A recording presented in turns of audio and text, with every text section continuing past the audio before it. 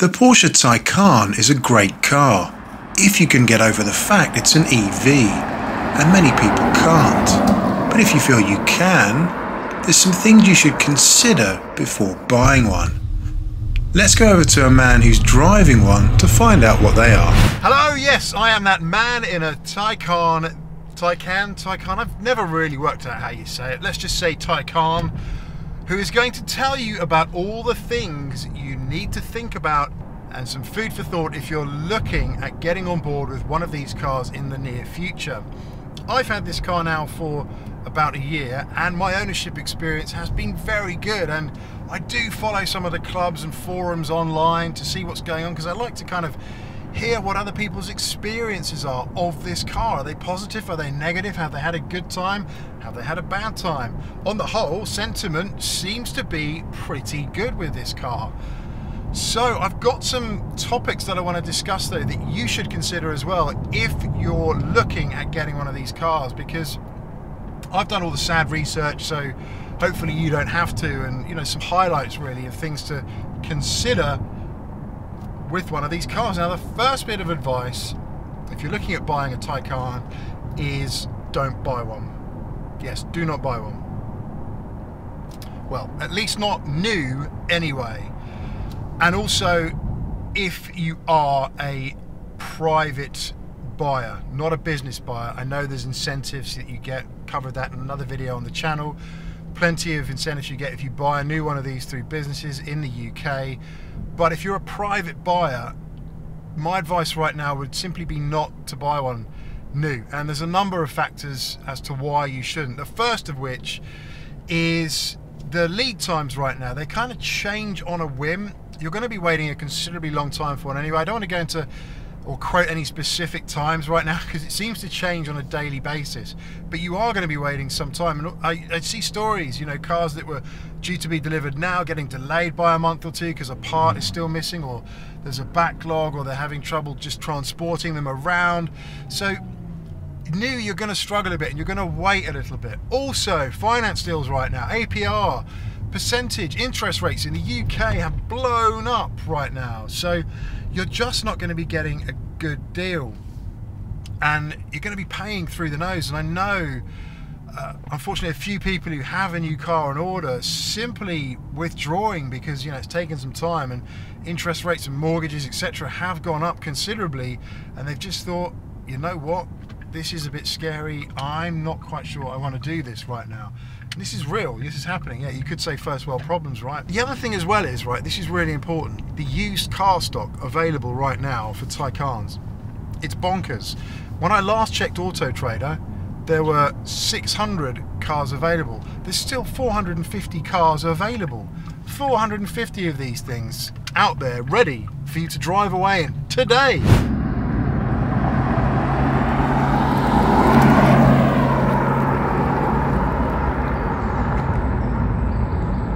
That is a lot of choice and you're probably going to find a spec that you want out there somewhere. You might have to do a bit of homework but just think 450 Taycans in a field. It's going to be quite a big field quite a lot of choice. So don't discount used. Obviously make sure you get the right warranty etc it comes with a balance of warranty. You're going to want that. These cars do have their challenges sometimes heaters for example but do not if you're a private buyer be put off by buying used because you're probably going to find something today.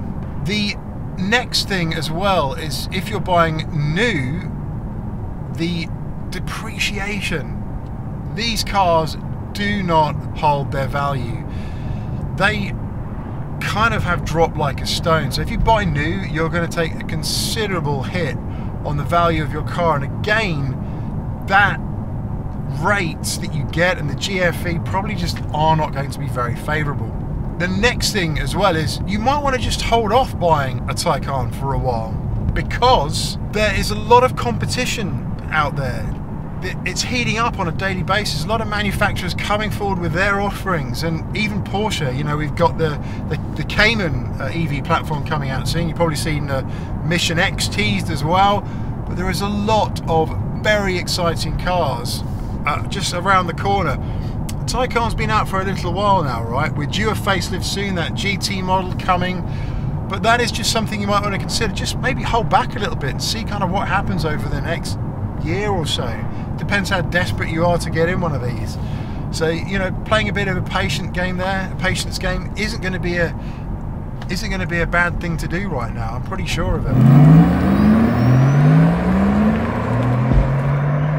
The next thing to consider, and this is a bit of a weird one, is people do not hear you coming in this car. The amount of times pedestrians have stepped out in front of me because they simply haven't heard it. It's an EV, even with the sound on it still quiet, it's not something you necessarily listen out for as a pedestrian when you're out and about on your daily business. It, it's just a, a, bit of a bizarre sound. So the, the human ear, I don't think, is tuned into listening for these. We've been listening to engines all our life, but not the sound of an EV. So that's something I think that will change the generations. You do have to take a little bit of extra caution when you're out and about amidst pedestrians. The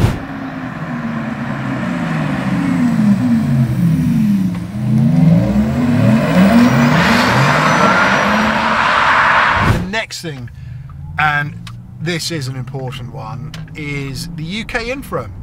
It's rubbish. The UK charging infra is absolutely diabolical. Government, if you're listening, what are you doing? Get on board and fix it. It's really embarrassing. I was just following a story of a guy who took his Taycan through Europe recently and down through France it was a different story. There were so many EV chargers on the route. They were practically following him and competing for business. It a completely different story. You go to Nina Clerk and there's Ionity chargers everywhere there. Ionity chargers here, I have to say, are fantastic, but there just isn't enough of them. We need one of those in every postcode in order for this to work properly. It's just a sad state of affairs that we've got in the UK. The infrastructure is, at, we're so bad at infrastructure in the UK. The roads are crumbling. I can't even call them roads if I'm honest. We need more infrastructure, we need more charging capability, sort it out. I mean, what is the excuse? They probably say, oh, the rollout's going very well. It's not. It's rubbish. Fix it, please. Obviously, it's nice to be able to charge at home and wake up with a full tank, but yeah, it's just not ideal, really not ideal. Next up is the range. Do not get fixated on the range of the Taycan. I mean, you, I did say in a previous video, you kind of always got it in the back of your head, right? The range of the Taycan. And you see people on the on the club charging them to 100% to get as much range as possible. And now we're in warmer weather. You know, that range might be up 250. I've seen above 300 miles. Admittedly, that car was probably being driven around on the back of a trailer in all honesty. But yeah, you just kind of do not get hung up on how much range you've got. Just kind of enjoy it, charge it when you need to charge it. The advice is to keep it between about sort of 25% and 85% in that Goldilocks bracket. But just do not get hung up because some people make this an obsession, an unhealthy obsession, and they're going to end up in a support group surrounded by people who've lost everything because all they could think about was EV charging and how much range they've got. So that is just something that you need to not think about as well when you're getting a Taycan. Is just enjoy the car. It's a great car, great drive. You'll have a thoroughly good time if you don't let the range become an addiction, a weird addiction. Next up is the tires. This car will eat tires. This car will eat tires. It gets through tyres very quickly because it's so heavy. And unfortunately I recently discovered a bulge in my near side front tyre. And I jokingly posted on the club that I should sand it back down. And lo and behold a few people are interacting with that comment of course tongue-in-cheek but posting pictures of their bulges as well. Sounds so wrong doesn't it? But posting pictures of their tyre bulges too because it's happened to them. Low profile tyres really heavy car and the roads in the UK look like this. They're just an absolute state. So you hit a pothole and that's it. You are your tire just bulges out. Because these cars are so heavy that's it game over.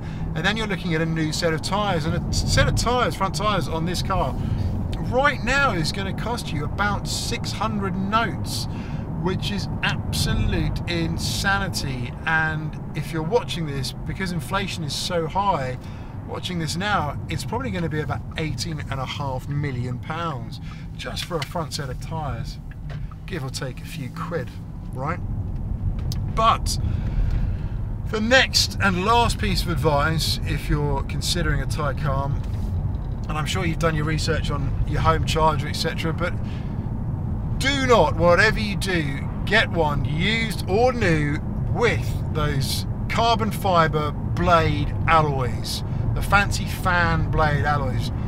Do not get them. Every post I've seen, every owner who's had these pretty much in the UK is suffering from corrosion with them. And they're the most expensive alloys you can get on the Taycan, I believe.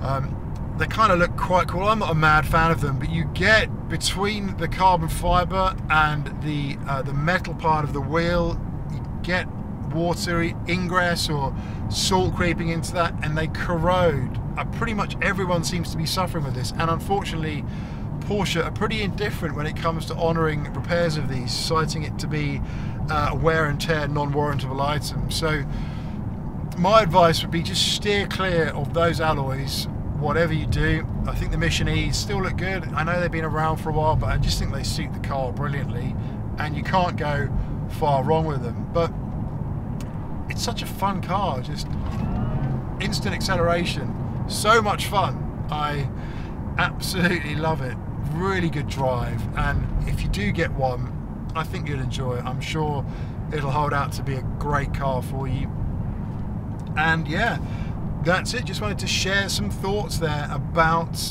Taycan ownership because for me it's been good and I'm sure for you it would be good too just really consider what you're buying though if you're a private buyer don't discount used cars just because they're used I wouldn't now either so that is it. Thank you very much for watching. Do take care. Stay well. See you on the next one. And bye for now.